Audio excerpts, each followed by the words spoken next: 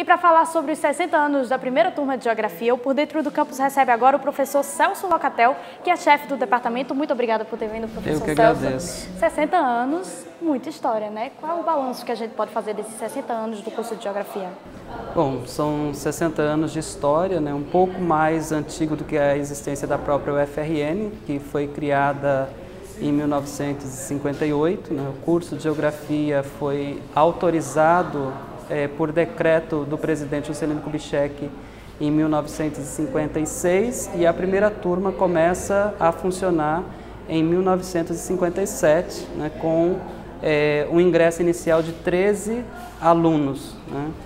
E a partir daí, de 57 até 2017, não existem registros, né, porque os registros iniciais não foram preservados, mas calculamos que tenha passado por aqui aproximadamente entre 2.300 a 2.500 pessoas formadas né, pelo Departamento de Geografia.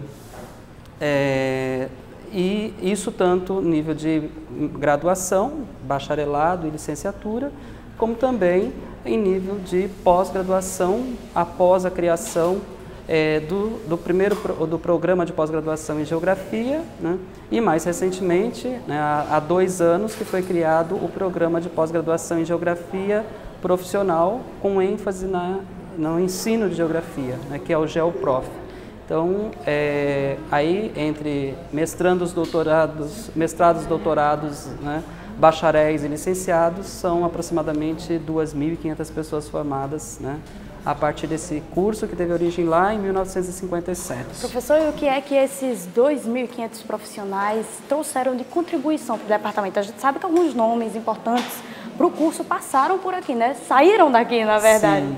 É, bom, a maior contribuição que eu acho que tem do departamento é a formação, né, é, inicialmente de pessoal né, é, para a, o ensino básico, né, os licenciados, mas também dos bacharéis, existe um grande número né, de bacharéis que passar, foram formados por aqui, que estão inseridos principalmente na administração pública direta e indireta, assim como em empresas de consultoria, né, na área ambiental, na área de planejamento, é, e na, na, os formados né, em nível de pós-graduação, mestrandos e doutorandos, nós temos, eu não tenho os dados precisos, mas é um grande número de alunos que estão inseridos em universidades né, é, públicas, tanto na própria UFRN, né, é, como também em outras universidades, em outras universidades federais, no, principalmente no Nordeste brasileiro,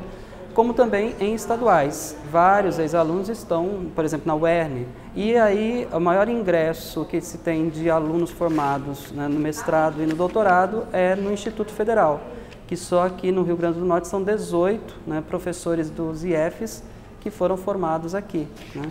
Então, tem uma abrangência muito grande no mercado de trabalho, né, na formação de pessoal qualificado em vários níveis, inseridos em diversos campos de trabalho.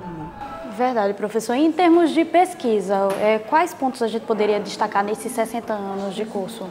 Olha, a pesquisa vem se consolidando, né, dentro, a pesquisa em geografia, ela vem se consolidando, existe uma produção bastante significativa durante todo esse período, quando você faz um levantamento bibliográfico, né, é de trabalhos que foram, livros e artigos publicados por professores que passaram pelo departamento, pelo departamento e que ainda estão no departamento, é um número bastante expressivo. No entanto, é, eu acho que um dos, um dos elementos que comprova a consolidação né, da produção científica é o fato de agora, da última avaliação CAPES, né, que saiu agora em setembro, o programa de pós-graduação e pesquisa em geografia foi avaliado com nota 5, né, ou seja, trata-se de um programa consolidado.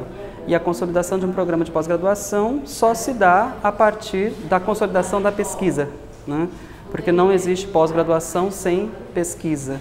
Professor, a gente falou de ensino, de pesquisa, mas e a extensão? A gente sabe que muitos estudantes é, participam de programas de extensão, né? Parte da formação passa por ali.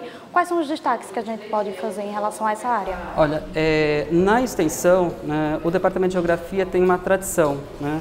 É, eu acho que é importante nesse momento da comemoração dos 60 anos é lembrar do projeto Pé na Trilha, né, que foi idealizado pelo professor Edilson de Carvalho que foi a inspiração para o programa né, é, que é mantido pela UFRN até hoje, que é o, o projeto Trilhas Potiguares. Né? Então, de um projeto de extensão da geografia, inspirou a criação de um programa institucional que é mantido aí já há, eu não sei exatamente, mas aproximadamente duas décadas já de execução desse projeto Penatrilhas.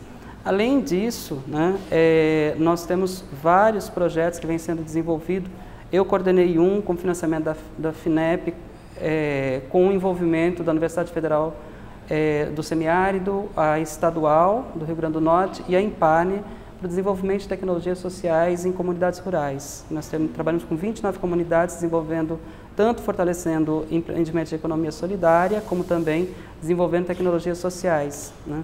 E agora, atualmente, tem um projeto de pesquisa e extensão que é extremamente importante no contexto do Rio Grande do Norte, que é coordenado pelo professor Aldo Dantas, né, que envolve a capacitação e o acompanhamento da elaboração do Plano Municipal de Saneamento Básico de 86 municípios do Estado.